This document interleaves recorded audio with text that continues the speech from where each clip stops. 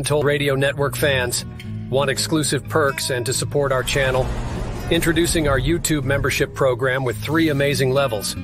Get loyalty badges that level up to different cryptids the longer you're a supporter. How cool is that? You'll also get access to custom Bigfoot emojis and priority in chat. Upgrade to Backstage Pass for exclusive wallpapers, photos, status updates, discounted books, and merchandise. Go all in with the producer level for everything mentioned plus member shoutouts. Ready for an enhanced experience? Join now, pick your membership level, and let's make this journey even more exciting together.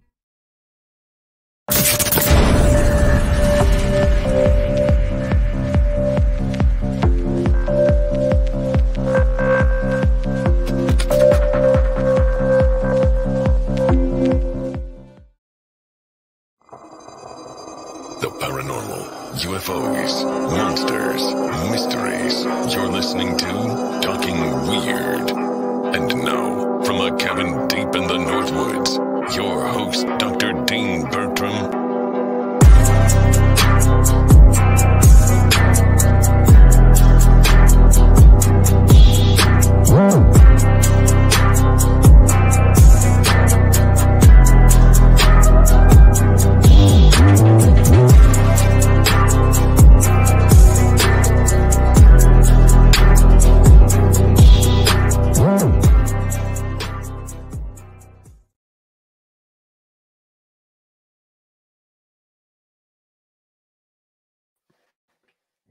Greetings to all my fellow weirdos and weirdettes. Thank you for joining me for Talking Weird on the Untold Radio Network. I hope everybody's getting fa- ready for Halloween. I know I am. I'm harvesting the last of my pumpkins from my patch here in the North Woods.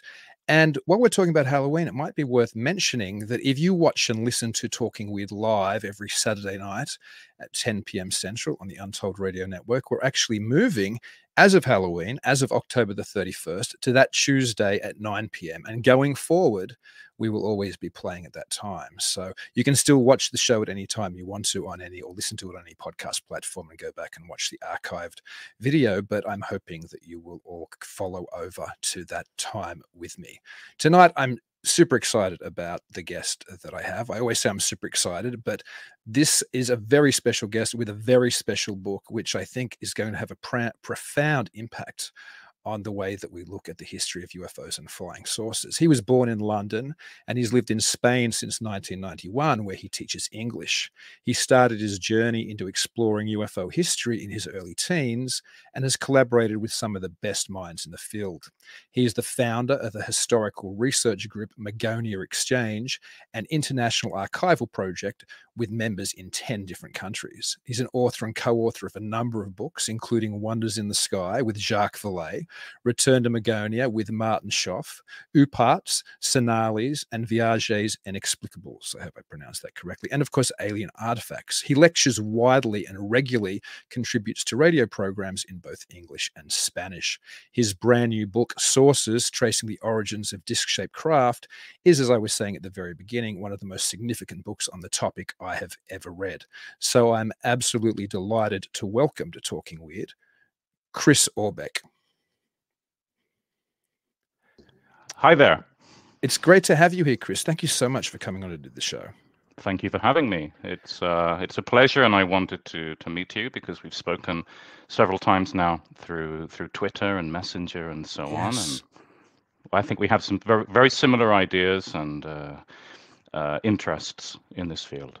I do too. It was a joy talking to you previously over the various socials, but now I've got, I've got to talk to you properly the first time since I've read your book. And I'll be honest, since I finished my PhD research in the mid 2000s, and I, I, walked away from the UFO topic for a while, but when I came back, I was very conscious that there hadn't been, I thought, hardly any books of real worth or merit published. Now, in fairness, I haven't read your Alien Artifacts because that dropped after my dissertation as well. But I think I, I say this with all sincerity. I think the three most important books I've re- read about UFOs written in the 21st century, and they're very different. They're about different aspects of the phenomenon. But one would be Greg Bishop's wonderful Project Beta.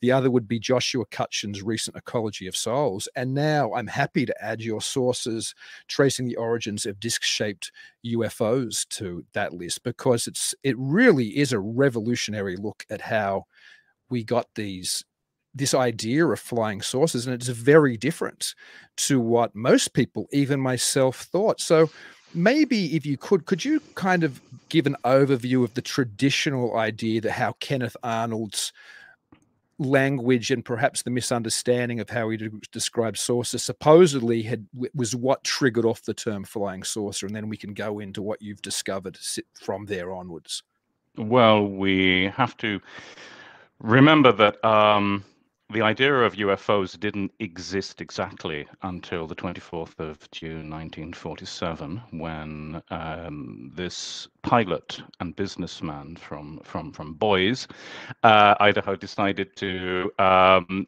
track down a missing military plane uh, because he was he wanted a a cash reward. I think it was five thousand dollars. He was out there looking for this plane when uh, he saw nine strange objects. And nine's interesting in the sense that most UFO sightings these days only involve one. So it was like a flock of UFOs that he saw. Then he um, when he landed, uh, his first interview was at the East Oregonian with uh, two journalists, uh, Nolan Skiff and William Bequette, who wrote a couple of articles um, explaining what he'd seen. The the first version of, of of the articles was very very short and just said that he'd seen objects that uh, were saucer-like and um, were flat like a pie pan uh, but it didn't actually say what shape they were because we have to remember that pie pan and saucer-like were not really shape adjectives. They were just well, I, I, can explain a little bit about that in a moment. That's that's what caused the confusion. Um, but it was the second interview that he did um, with uh, William Bequette. Once they realized that this news had a lot of traction to it, um, in which he said that uh, they were bat-shaped. However, that's not um, that's not what uh, what got communicated through the uh, Associated Press to the rest of the country. Everyone fixated on the idea of saucer-like and pie pan, uh, flat like a pie pan, and they thought, well, they must be discs, and um, so uh, the whole the whole world came to the conclusion that this man had seen disc-shaped objects, which they very quickly dubbed flying saucers. And then uh, shortly after that, Arnold began showing his. Um, well, he, he wasn't particularly happy with the with the name Flying Saucer because he knew that he hadn't seen anything of that shape. And it was only like three years later uh, when he reached the conclusion and publicly stated that it had all been a misunderstanding, that he had said that the objects had moved like saucers skimming over water it was with this kind of, of uh, undulating uh, move, movement. And um, and that's how he believed the rumor started that they had been saucer shaped or circular and flat. And that's the the way things have been uh, over the last uh, let's say 60 or 70 years uh, people believed Arnold's story. So we have, on the one hand, we have um, uh, the general idea that flying saucers are round and flat. And on the other hand, we have the the idea that the original witness said, "No, that's a mistake. What I saw was a different shape altogether. They were like half moons, crescent moons, whatever."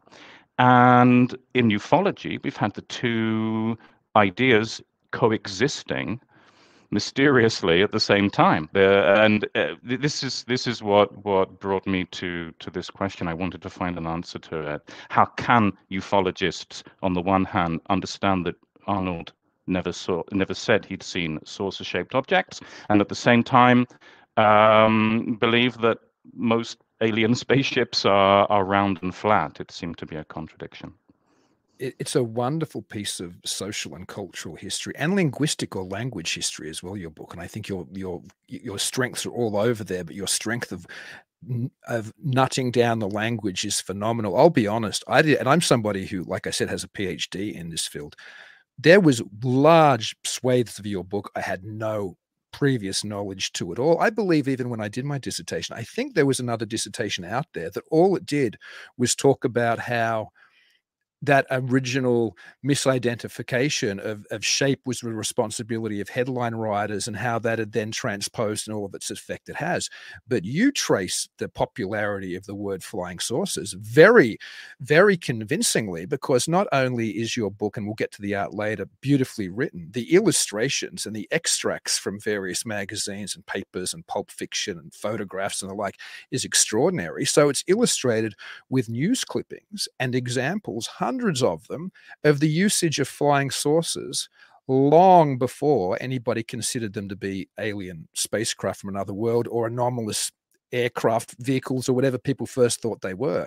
This word dates back, and it was very significant in America or parts of American culture. So perhaps, um, perhaps you could talk a little bit about that discovery.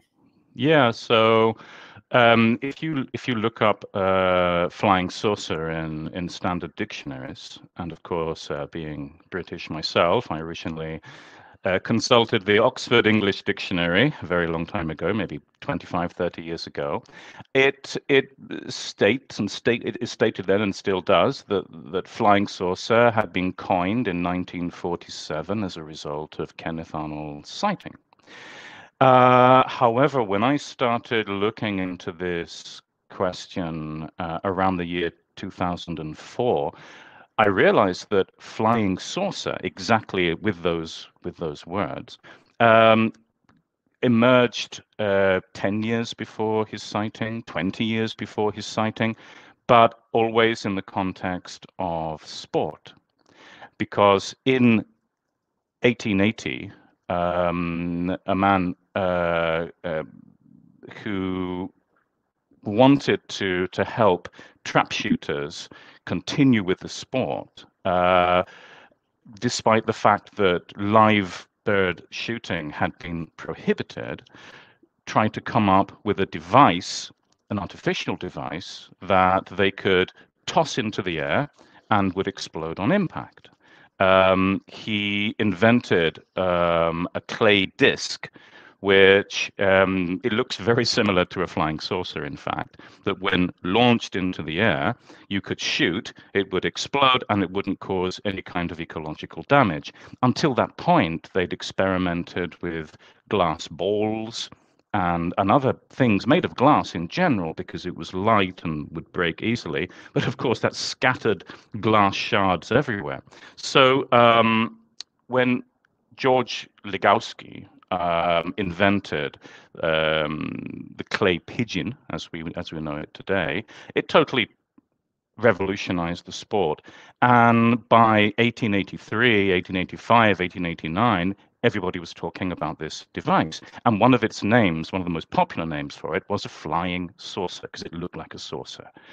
So when we reach the 1890s, the, the early 1900s, because trap shooting was so popular as a sport in the United States and in the rest of the world, the expression flying saucer was on everybody's lips. It was something that you could find in sports pages, in sports events. Um, people were buying hundreds of thousands of flying saucers um, because it was a sport that was more more popular than golf and, and tennis and football and every other sport at that point.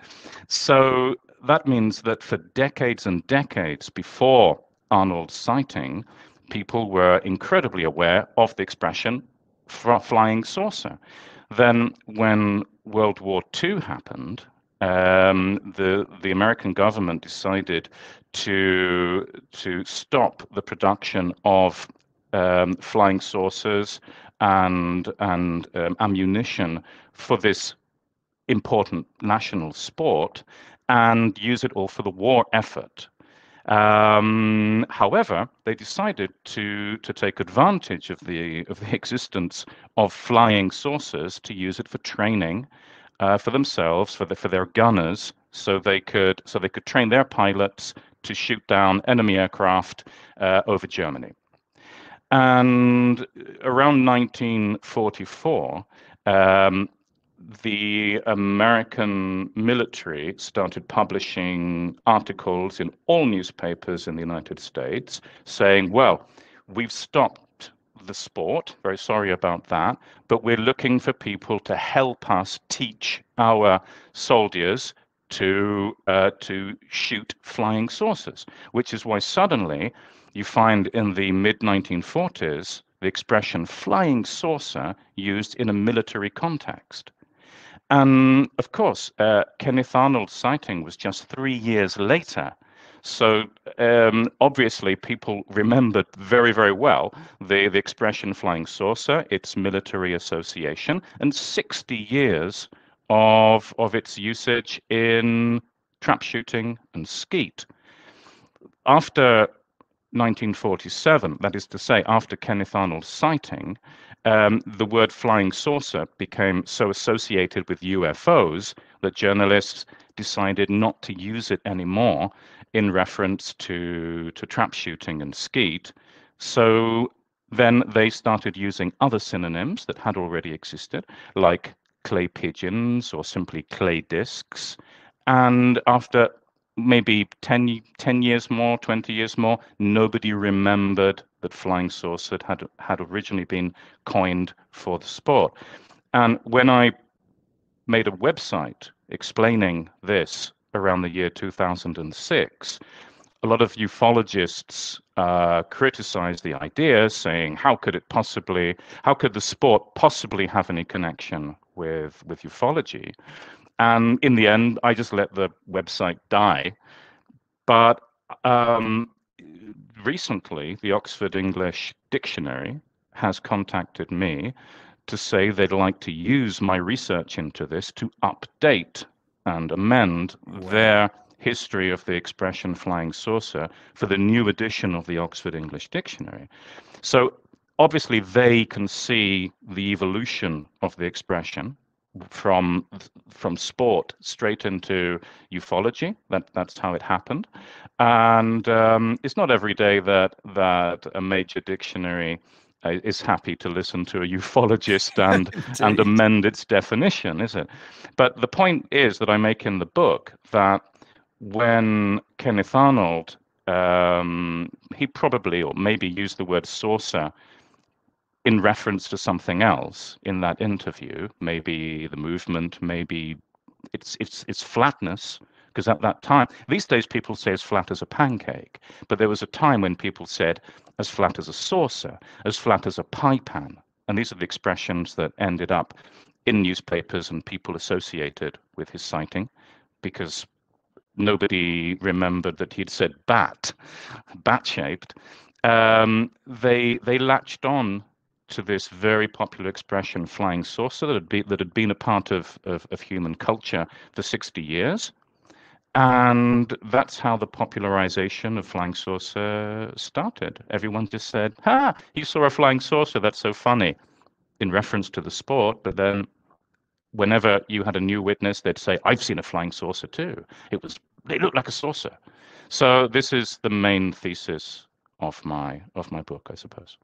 No, I, I absolutely was just, like I said, fascinated by it. And I find it so interesting, as you mentioned briefly there, but it's talked about a little more in the book, how when that initial story got picked up by the AP Newswire, they dropped the bat wing reference from it altogether and Completely. they only left the saucer reference. And so, mm-hmm. another thing I'd never thought about before, I'd always followed the traditional kind of explanation that newspaper writers or headline writers had taken the movement moving like sauce a saucer would if you skipped it across water as arnold later said uh, was what he what he meant and just shortened it to saucer like or to to flying saucers. But i never ever thought about the fact that the the word saucer might have been used as a descriptor of the width of it or the flatness of it. I found that, mm-hmm. and you mm-hmm. mentioned that then. That was absolutely fascinating. I never even thought about that. Just quickly while we're on the flying saucer trap skeeting connection, I was reading the book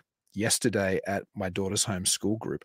And I have a, a, friend there who's the coordinator of it, actually, who's interested in these things in a, a, very kind of marginal way. He's also a shooter, as most people are in my neck of the woods. And I showed him the book and I just said, You have no idea where this term originated from. And I said, Both you and I should know it. Because we're sportsmen. And he looked at me straight away. And I, this is the first time, other than your book, anyone's ever said that. And he said, Yeah, trap shooting. And I said, How Okay. on earth did you know that? And he said, The only reason I know that is my grandfather still sometimes calls them flying saucers. And I said, How old's your grandfather? He's in his 90s. And I'm like, that'd make sense. He was calling them flying saucers when he was a young man. But That's before it. your book and before bringing it up to that, my friend, I never heard the reference. So yeah, people like there must be, still be old timers who still know those clay pigeons were flying saucers. Yeah, but it was it was completely forgotten. It just shows you um, how delicate language is in a sense, because just from one generation to the next, uh, a word can completely change its meaning. I I find that now I live in Spain. When I go back to England, uh, I, I hear my mother or a friend use a, a term, and I think I know what it means until suddenly I realize, you know, it's changed. It's changed maybe in five years. It's changed in ten years. Then you have people growing up, and they they only know it with this new with this new meaning, with this new definition. For example, last week my father was here, and um, he said something like, um, "Oh, I like your pants," and I was like, because in English, of course.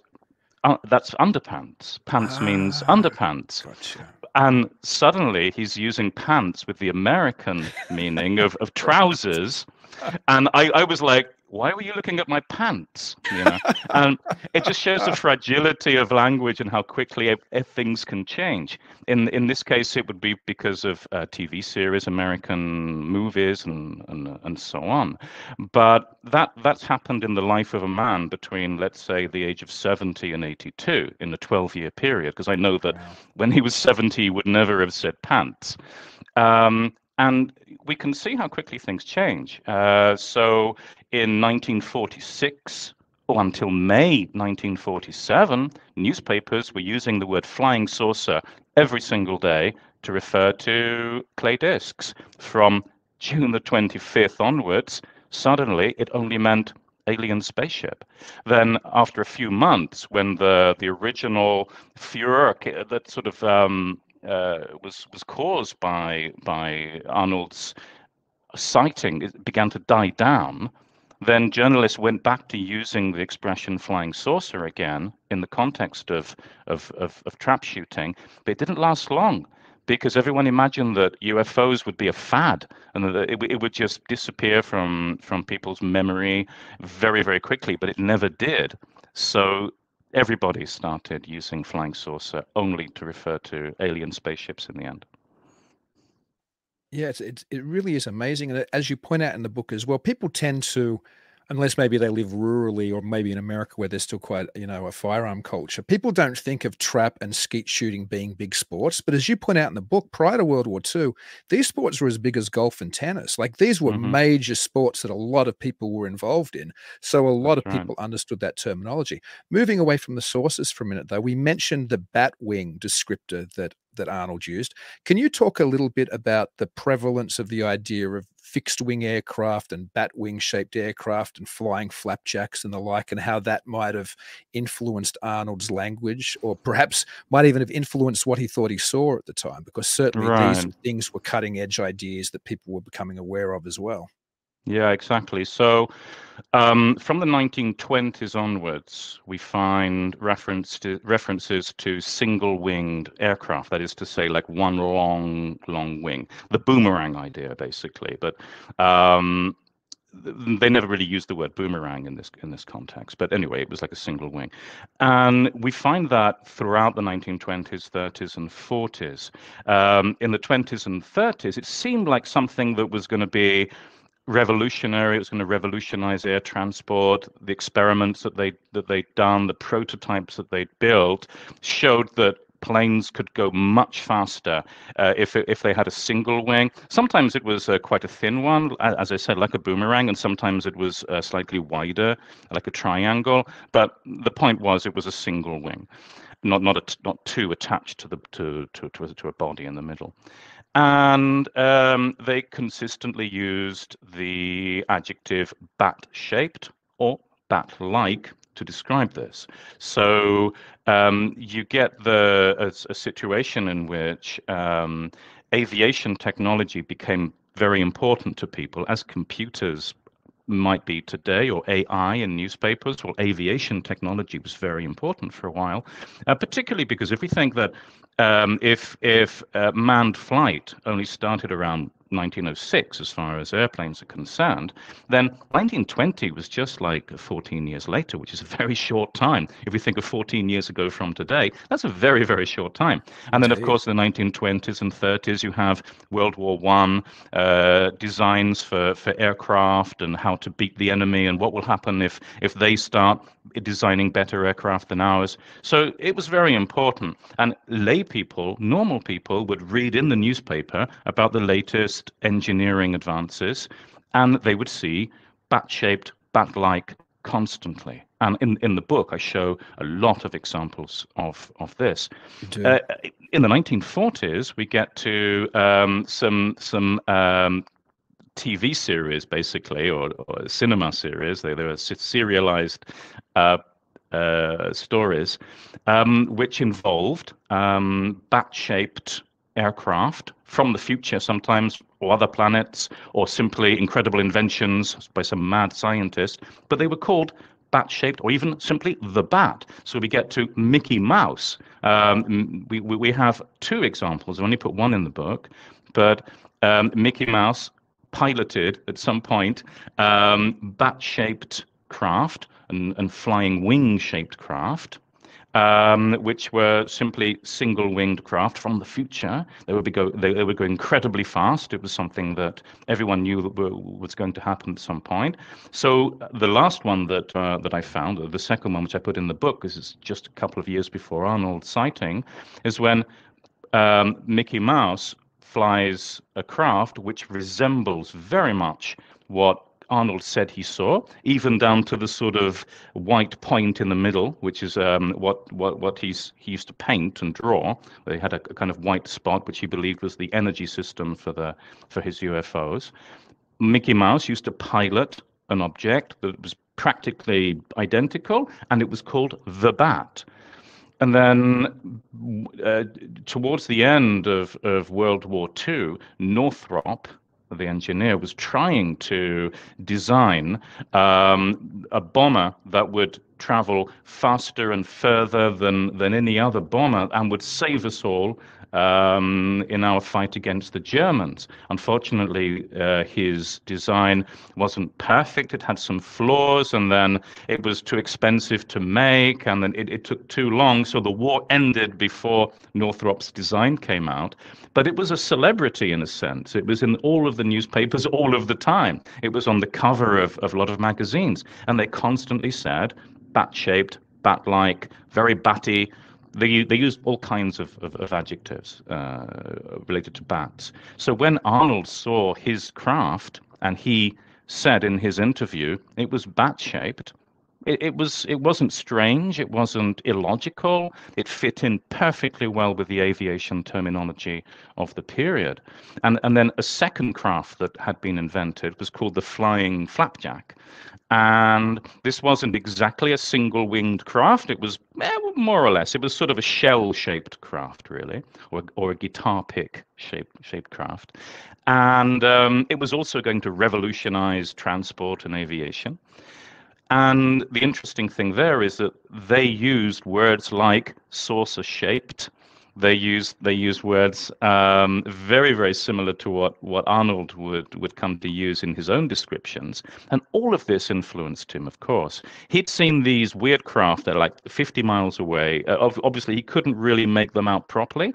So when he came to describe them, he he started using terminology that a, a pilot would would use. A pilot interested in in in um, technological the technological advancements of, of, of his time so therefore, when he said bat-shaped, that was a very important key element to his story. It was bat-shaped.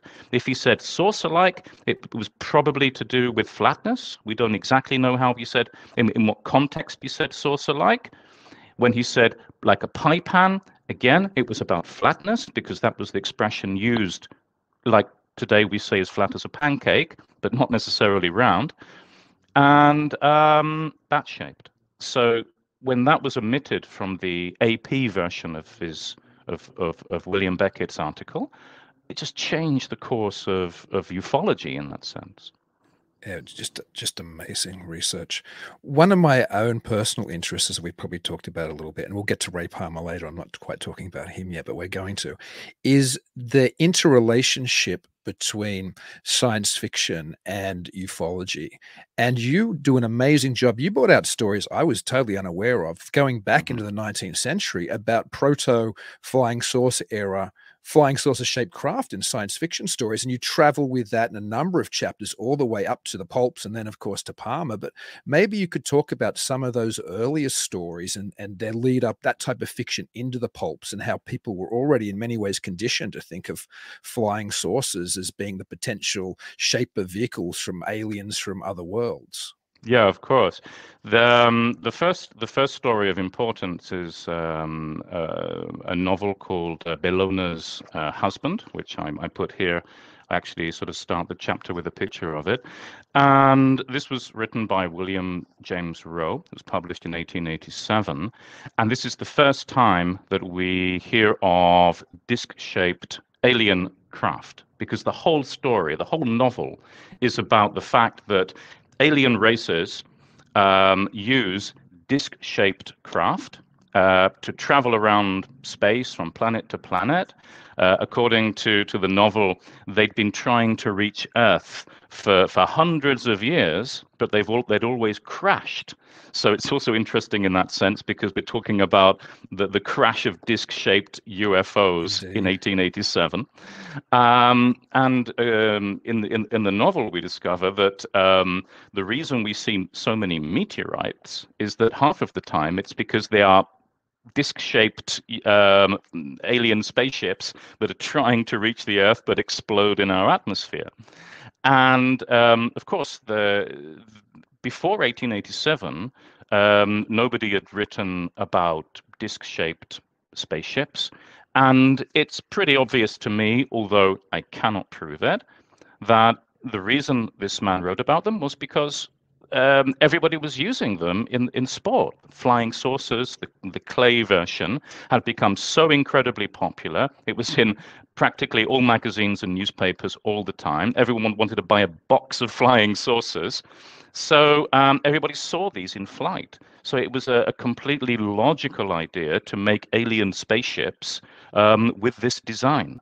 And as I said, we, we don't find this design before the age of trap shooting, before the age of, of, of um, clay pigeons, only afterwards. So that's the first case and the, and the most interesting case, I would say. Um, after that, there, there were several decades in which science fiction began developing this idea, this design. Uh, again, probably because um, everybody was so aware of the flight capabilities of a disk because it was used all the time as frisbee. Well, frisbees were a little bit later, but um, throwing a discus in the Olympics and uh, in in trap shooting and so on with a with a clay disc, that it was an obvious choice. So this was developed into a standard spaceship design, which we find in in science fiction. Uh, in the book, I have examples of, um, uh, for example, a man who was abducted by uh, a flying disc, a disc-shaped spaceship, and taken to another planet. And this parallel between science fiction before Kenneth Arnold uh, and uh, people's claims after 1947 is extremely strong. You can find very deep parallels there. And um, I think that, I mean, as, as I say in the book, um, it, this kind of thing is often a chicken, a chicken and egg question because which came first, the science fiction or the or the or the sightings? But in this case, we know what came first. The science fiction came first. It predates all of these stories in uf- in ufology by 60 years you know so it's a very important element um, it, I'm, I'm, not the first person to to to point out this this component um, in the prehistory of ufology but I'm probably the first person to, to, to find a way that it fits in to to the whole evolution of the field, starting with with trap shooting, then developing into the use of discs as as as alien spaceships, and then this predating Arnold. And then, of course, in 1947, people were already mentally uh, prepared for this because they'd seen discs in so many contexts, um, in comic strips and in um, uh, TV serial, sort of Buck Rogers kind of thing. They and Flash Gordon, they were they were mentally prepared for this, so it wasn't a huge surprise. Now, can we talk a little bit about the involvement of Ray Palmer. Of course, the pulps, as you've mentioned, had already introduced a lot of this type of symbology and a lot of this type of uh, even there were images long before Palmer of things that look like you know things which were source of spacecraft in amazing stories and in in what were the other ones like astounding and wonder tales so they were in several of them but certainly something at least to me seems to have happened after palmer became editor of Amazing, and he starts to not only run that type of science fiction too, but he starts to play around with Fortean ideas all the time. He starts to talk about the potential of alien visitation. So maybe we can talk. Maybe we would like to chat a little bit about, I suppose, Palmer's involvement up until the saucers, and then afterwards we can maybe chat a little bit about his influence after mm -hmm. that initial Kenneth Arnold sighting. Yeah, because um, of course uh, Kenneth Palmer, who became the editor of Amazing Stories, um, he was um, he loved to sell a good story. He was looking for a, a, running theme for his for his magazines, and he was fascinated by the by the the, the Richard Shaver um, idea, story, myth which is about this uh, subterranean world of mysterious creatures with advanced technology who sometimes interact with, with, with terrestrials and, and so on. So the Shaver mystery had been very popular for several years before Kenneth Arnold came on the scene. And, and Palmer became pretty obsessed with it. And I think that uh, what, what he wanted to do was to create um, this sort of running theme so he could create a fan base around a particular story. So um, until 1947, most of his um, articles and letters and so on in, in, Amazing Stories seemed to touch on this uh, this Shaver mystery. It was called. Uh, which is very interesting, of course, and it involves Lemuria and involves all kinds of, of crazy things.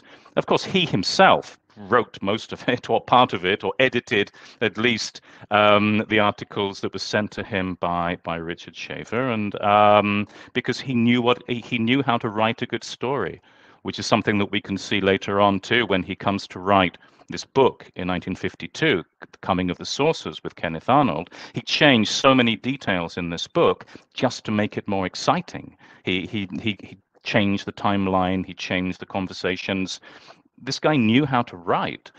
Uh, so um, when we get to 1947, people have got a little bit tired of the Shaver mystery.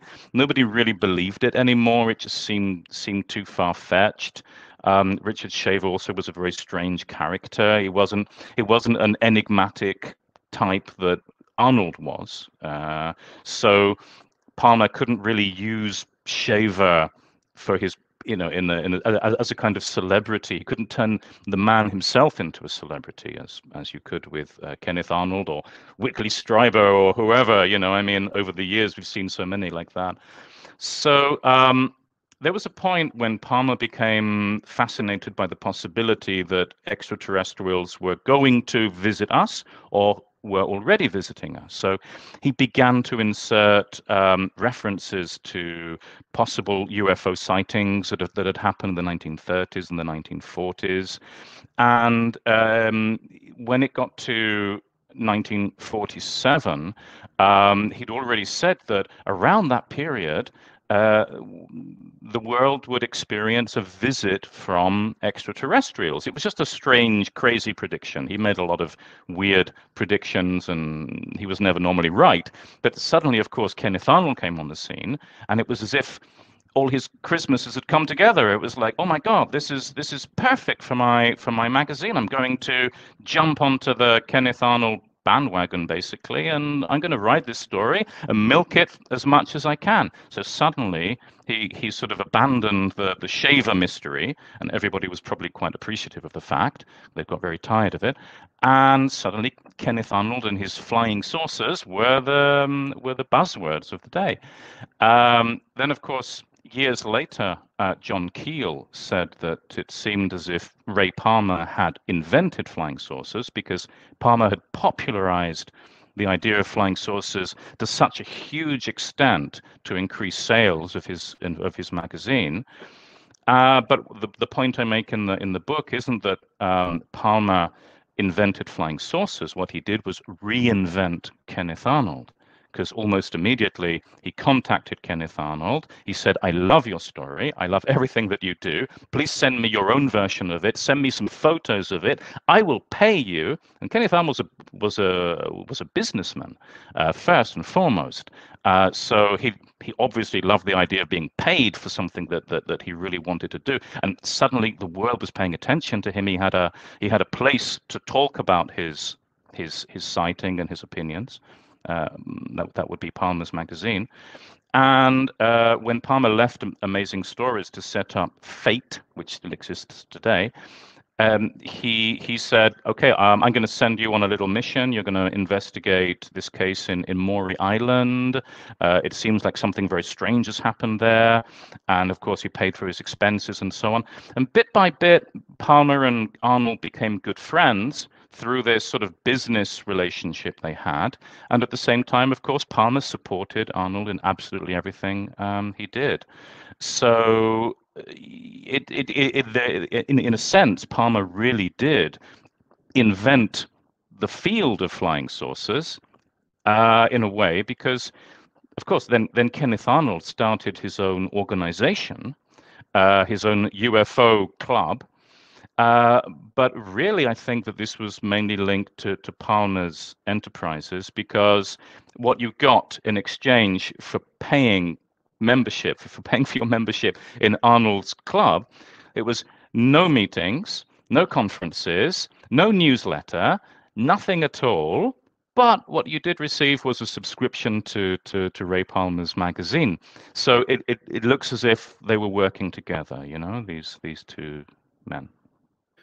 I love the I love um, that there's this moment in history where you get a pulp publisher, pulp, rather a pulp editor, and then a publisher, of course, his own magazines, including Flying Saucers before or after Fate, and you get a witness.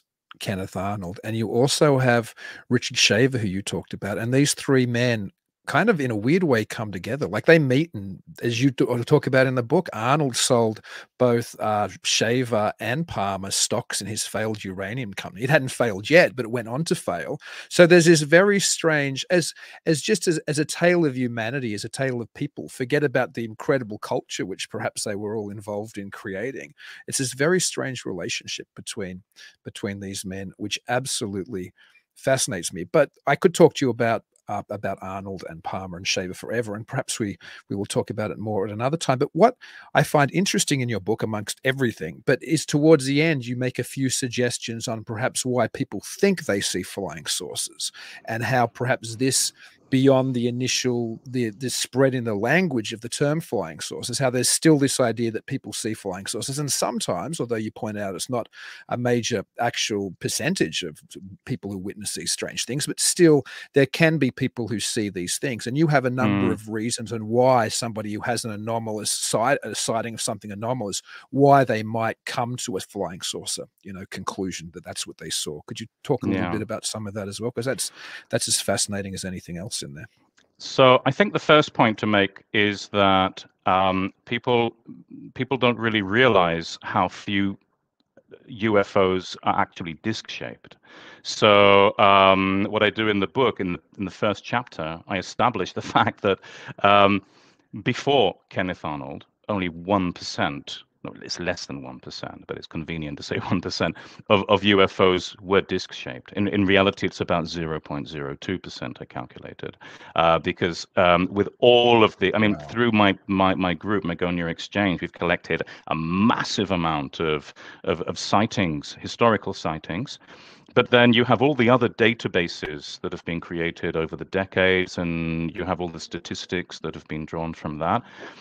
And yeah, it's before Arnold, it was like 0.02% of, of, of sightings were, um, were disc shaped. And then during the UFO craze that Arnold started, um, practically all of them were flying saucer shaped. And then from around the late 80s, 90s onwards, um, flying saucers became pretty old hat and it, it, it, it, it sort of became almost funny to say that you'd seen a, a flying saucer in, in, in, in some circles. Um, it had become a part of culture, which is why the Millennium Falcon has the shape that it does, because the person charged with um, designing it was told make it more or less like a flying saucer. The the the, the Enterprise in Star Trek, uh, that design also comes from a flying saucer. It just has a, a long appendage attached to it.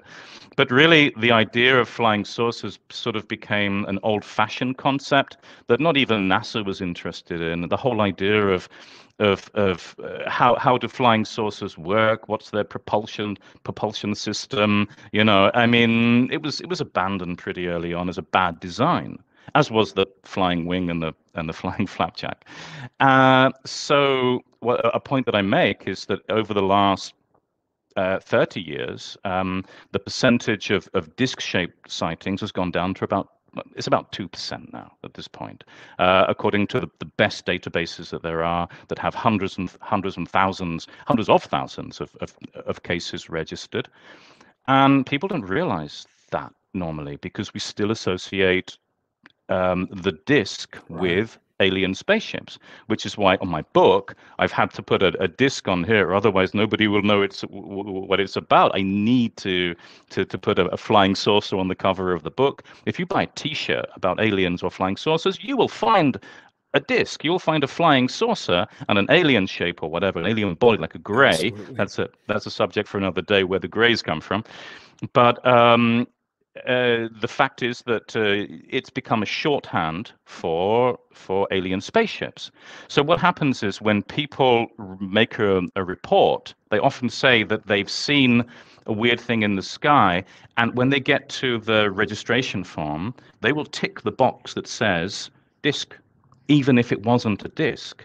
And you can see that because when you go into online um, uh, UFO databases, and you can see the, the reports that the people have filed. They will tick the, the saucer box, the disk box, but then they'll, they'll talk about a diamond shape or an amorphous light or a cloud or, wow. or, or, just nothing. And, and it's, it's nuts in that sense. It's like, so why did you call it a disk? And it's because we have this instinct to call alien spaceships saucers and disks. So um, what I do as you said, towards the end of the book, is I give a, um, a sort of list of reasons why people mm, think that they've seen a disc or reported it as a disc, even when it probably wasn't. So the first one I mentioned in the book is uh, perceptual expectancy, and that's because our brains are, are hardwired to expect to see a disc shape when we've seen a UFO. I've seen cases of people who only saw a star. That, that's all they saw in the sky, a star. But then when they've come to draw it or describe it, they've drawn a disc, they've drawn a flying saucer, huh. you know, and they only saw a tiny little dot in the sky that later they've discovered was maybe, I don't know, uh, a star or Venus or Jupiter. But they've drawn a disc for the ufologist. So that's because our, our brains are hardwired to, to, to look for, the sort of express it in the in the in in disk terms in discoid terms then uh, very similar to that is uh, confirmation bias which I've which I've written, which um, it's it, it's it's the idea that you have a pre-existing belief. It's very similar to percep- perceptual expectancy, but again, um, you will reject any any data uh, about a about a sighting, even if it's your own sighting that contradicts the idea that it was disc shaped. And it sounds crazy that, that we would do that, but um, if you go online and you look in, in the in the online databases, that is what you find. You find it says saucer, flying, flying saucer. Man sees disc flying over California, over San Francisco, but then you would get down to the details and it was bullet shaped or whatever. Wow. Um, then you have, of course, false memory syndrome, which is the next the next category that I, I talk about. Because no matter what you what you saw at the time, when the way that our memories work is that um, we don't remember what we saw exactly. We recreate the memory every time we remember something, and this is um, a well-known uh, fact in in neuroscience. You don't remember the moment; you remember the memory of the moment, and that and every time you remember something, it changes slightly. Um, I saw a I saw a, a UFO uh, in on, on the 6th of April 1996, and I've been in a thousand different interviews, and they ask me all the time what I saw, and I try to say what I saw using the same words. It was it was rectangle, it was orange, it was self-luminous, it was in the sky. It disappeared after five or ten minutes. It reappeared in a different part of the sky. But I will always use the same words because I am so aware of the fact that if not, it will change in my memory. I don't want it. I don't want to lose that experience, but I'm aware of the fact that I'm only remembering now my last recreation, mental recreation of that thing. We don't remember events, we, we, remember memories, and that is really dangerous. And then, of course, uh, pareidolia is, is is the last category that that I've I've mentioned here. Um, quite often, we will look at something and believe we're seeing something um, but in fact, for example, if you see a face, like a, a coffee stain, it looks like um, a face or something like that. You say, "Oh, it looks like a face." That's a pareidolia. That's because we we see something that really isn't that, but it very slightly resembles it. So a lot of the time, people believe they've seen a disc-shaped UFO. Um, but if you actually had a photo or a video of it, you'd be able to show that it had a completely different shape. Um, so yeah, those are the those are the basic reasons why people can believe they've seen disc-shaped objects when they when they hadn't done. Uh, another another important fact, of course, is that as flying saucer was such um, a useful little expression to describe to describe alien spaceships and UFOs in general, as we go back through time, 1940s, 1950s, and so on, 1960s, and I, I put a lot of examples in the book, people saw crescent shapes, they saw cigar shapes or whatever, but the headline was always flying saucer. And that's had a massive impact on, on culture simply because of lazy headline writing, you know. So, um, yeah. Uh, and at the same time, I must say that if 2% of UFOs are disc shaped, that's great too. Uh, you know, I mean, if you've seen a UFO and it was disc shaped, I'm not going to disagree with you. There were lots right. of reasons why you it might not be true, but you know, maybe you're one of the lucky two percent. maybe.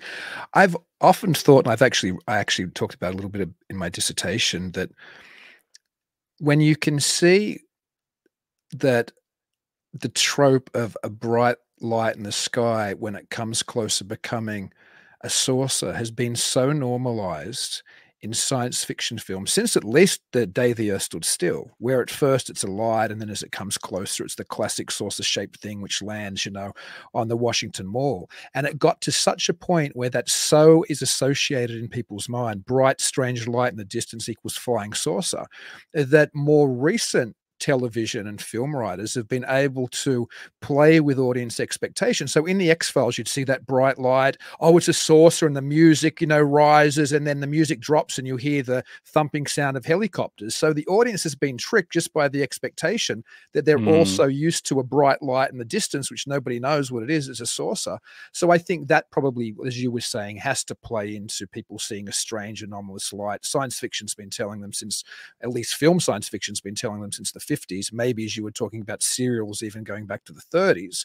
And if you look at some of the art and literature you were talking about previously to that, going back even further, that yeah, that's the expectation of an anomalous light in the sky. And but talking, we can we can talk about the fact that in the in the past, people used to see um, comets and meteors, and a few people were very scientific in their descriptions, but but but farmers, just sort of people who lived in the area, would often say how it looked like a human head, or it looked like the gods fighting in the sky, or it looked like a sword, or it looked like whatever. And then when they came to paint it or draw it, they'd say it was a sword.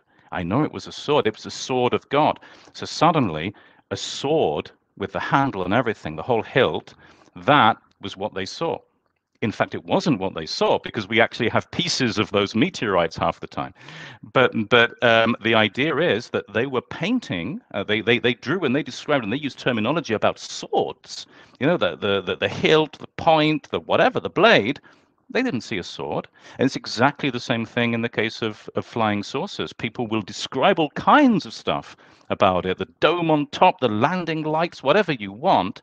But in reality, that's not what they saw. It might be what they think they remember they saw, but it's it's it's not what they it's not what they saw while we're talking about art and the like, I just have to commend you on this book. Not not only is it just an incredible and illuminating read, I think it's the most enjoyable read just from an aesthetic perspective I can imagine that I can remember since reading comic books in my teens. There's so many illustrations in there it's almost every it's so it, there's so many illustrations in there that when I hit a page where there wasn't an illustration, I was like, oh, that's weird. There's no illustration on this page because there's so much, and sometimes the text works in with the illustrations and it moves in these amazing patterns.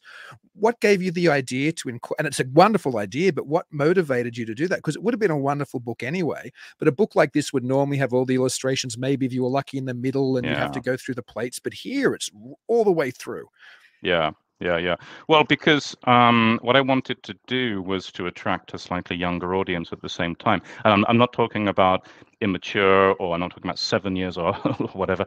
I'm, I'm talking about the fact that um, the current generation, I'm, I'm, I teach English and I know how young people can never ever read books. Uh, it's so common these days for someone age 27, 30 years old. And of course, there are lots of exceptions. And right now, they're probably thinking, no, I've, I've read thousands. I read one every day or whatever. But no, around the age of 27 these days, people often tell me, I, I've never read a book in my life, only once at school and, and, and so on.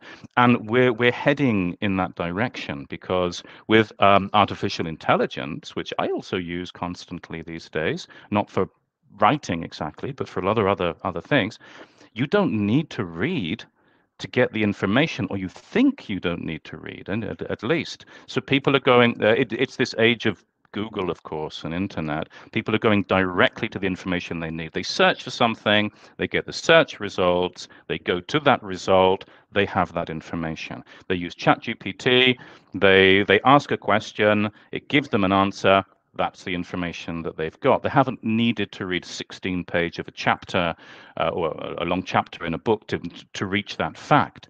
And that's a that's a new tendency now. That that that's that's a trend. And normally I would write a I would I would make um, uh, an ebook version of this, for example.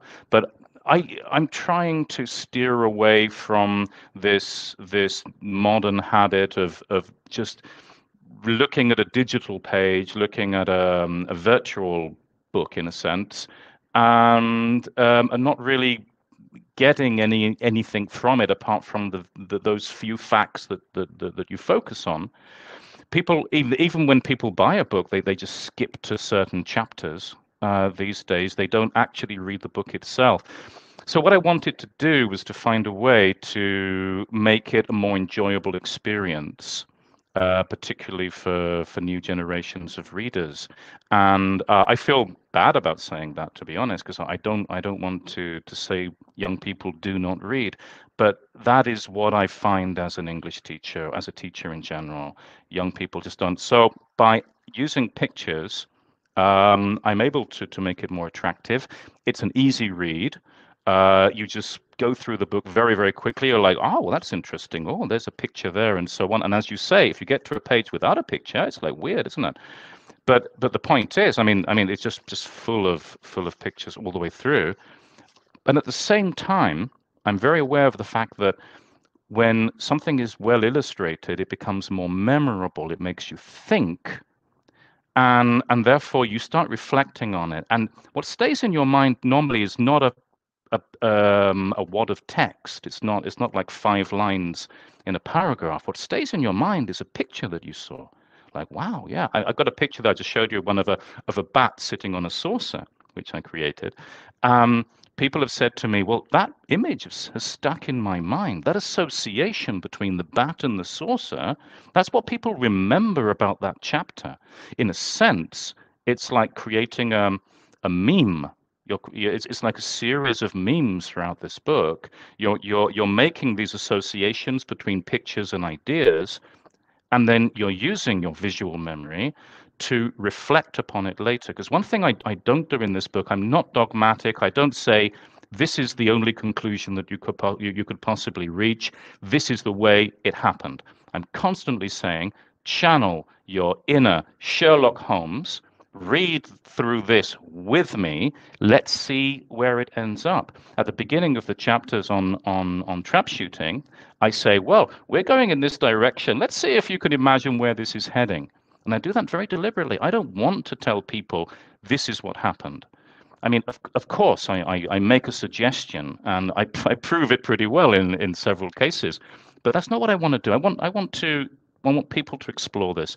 And the more visual cues that stick in your memory that you have, the the easier it is to to, to wade through that information and reach your own conclusions. And um, so far, I think it's worked quite well. People have told me that they that they like this style, so I'm going to adapt it now to to a lot of the um, a lot of the books that I'm working on. Like the next one, I'm going to issue one on crop circles, for example. I've I've I've just wow. uh, I've I've finished it in a sense because I I already published one in Spanish about five years ago. I wasn't happy with the result, and now I'm I'm using this idea of all these sort of um, visual elements interacting with the text. And people are saying, wow, now I understand what you're talking about. Now I can visualize it a lot better. And I think it, as a, as a learning tool, uh, images work really well, particularly for the, for the, for the Google generation or the AI generation.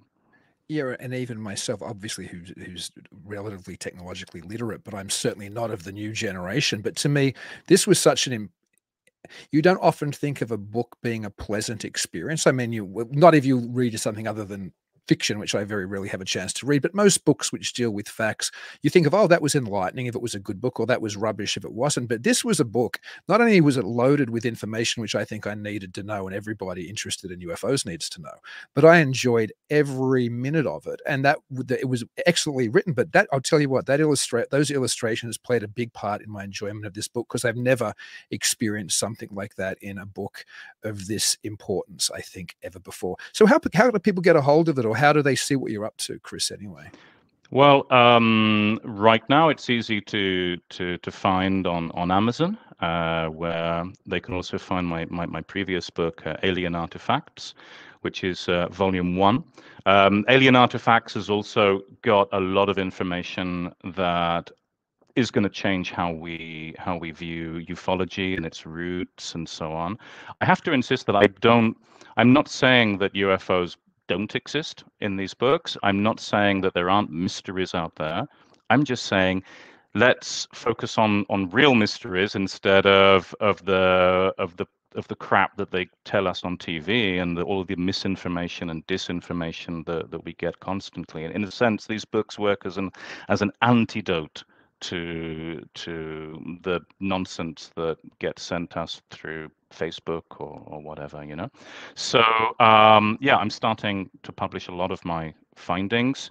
Um, Alien Artifacts is a really important book. Uh, I, I, I know I don't want to sound like I'm selling it or overselling it, but um, it it really goes does go right back to the roots of our belief in alien visitation without negating it. Maybe it, it's happened. This is not the point.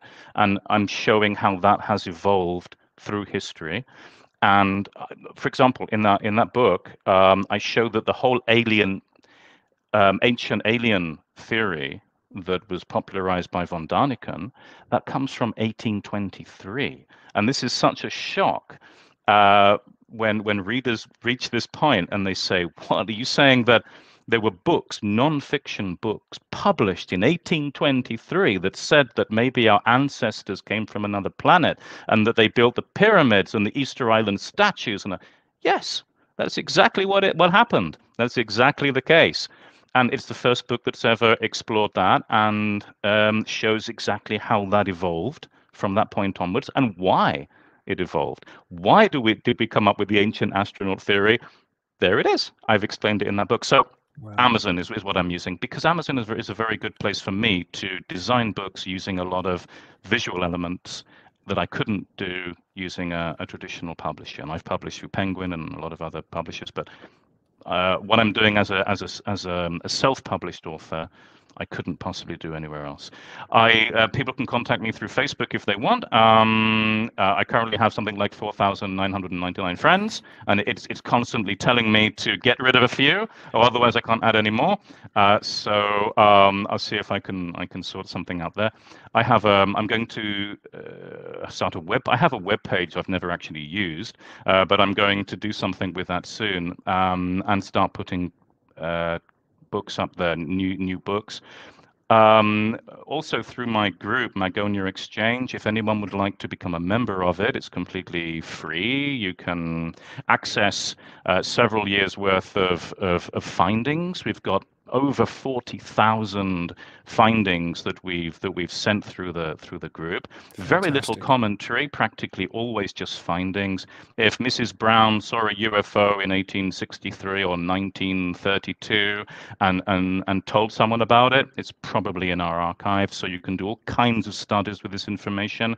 We've had anthropologists and university professors, sociologists and linguists using this information for their own studies, their own documentaries. And yeah, there's a lot of stuff there.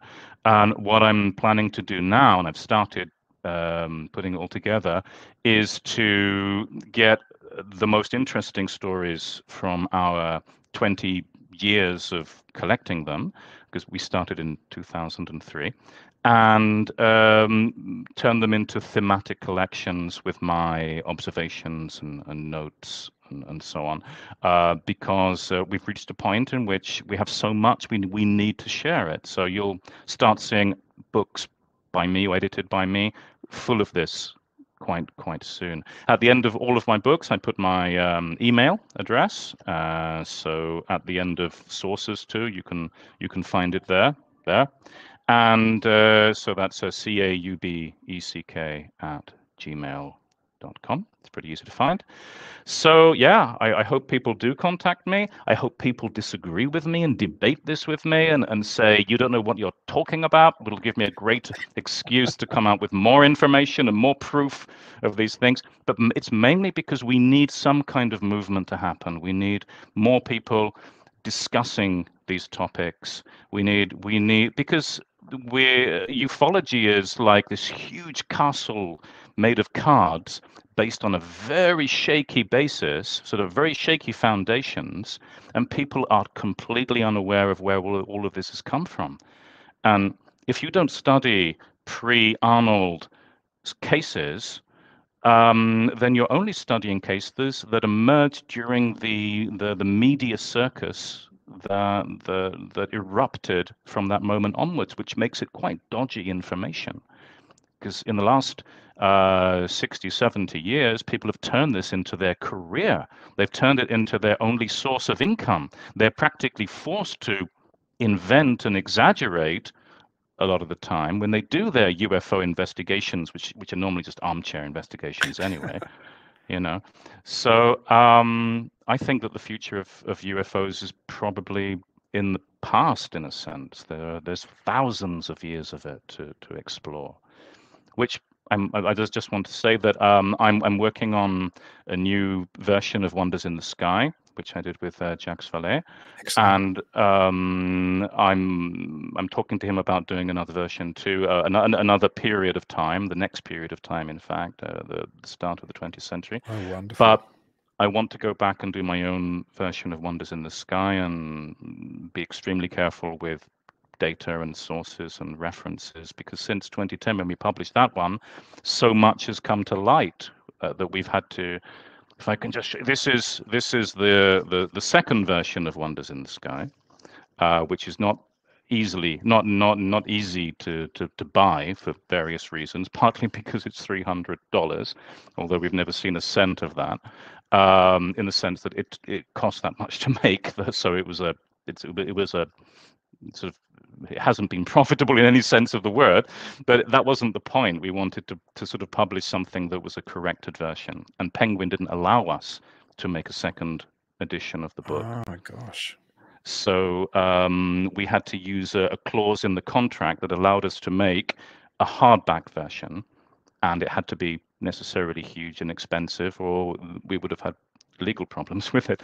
So um, anyway, if anyone finds this uh, extremely cheap somewhere, pick up a copy. You never know; it could be it could be interesting. But I do want to make a, a new version, a, a new very cheap version of this in the in the near future. I look forward to it. I look forward to all your upcoming works. And we I haven't read, as I mentioned earlier, Alien Artifacts yet, but I obviously need to. And I'm sure we should have you back if you want to at some stage to talk about either that and or your upcoming books, because you were just a delightful guest, Chris. Thank you so much for spending this time with me. Thank you very much for having me. And I, I, I hope we do speak again. And um, I'll tell you about my, my latest projects, and you can tell me about yours too, of course. I shall, and we'll talk offline or off air, I hope too. So thank you eh, so much for everybody listening. Thank you, Chris. And until I talk to everybody again, keep it weird.